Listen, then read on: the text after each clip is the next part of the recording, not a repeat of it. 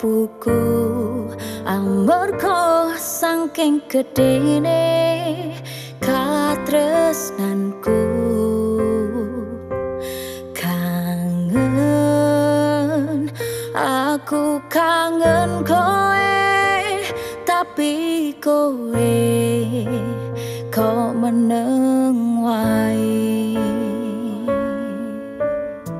Yen pancen kuwi karepmu kanggo aku. Tak trimo nganti ikhlas keputusanmu. Sadar aku